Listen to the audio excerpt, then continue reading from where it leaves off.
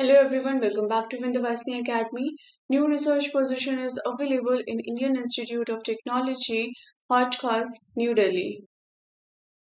The title of the project is Low Cost Wearable Sensor System for Mapping Plantar Pressure in the Assessment of Diabetic Foot Ulcer. The department will be Department of Electrical Engineering. The duration of the project will be up to 2028. The name of the research post is Research Associate. Number of position available is 1. Stipend will be paid 58000 per month plus 27% HRA. Let's look at the essential qualification.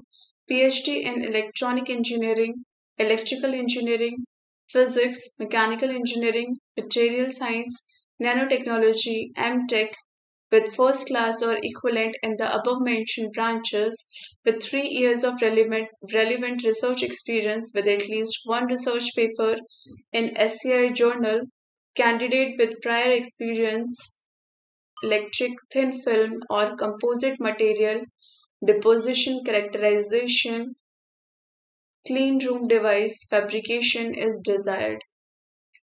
The candidate can download their form from the website iird.iitd.ac.in slash rec from the IIT Delhi website and uh, and submit the duly filled with the complete information regarding the educational qualification, indicated percentage of marks, division, detail of work experience by email with advertisement number on the subject line to the professor.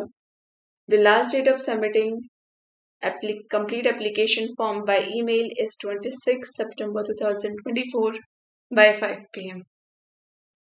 The detailed notification is attached in our description box. If you like our video, please like, share, and subscribe. Please don't forget to press the bell icon to get the latest update. Thank you for watching.